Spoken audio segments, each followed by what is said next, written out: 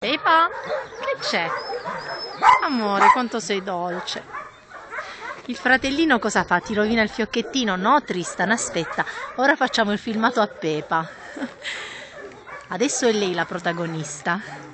Non lo masticare il fiocchettino, no. Come sei dolce, piccina. Quando verrai adottata?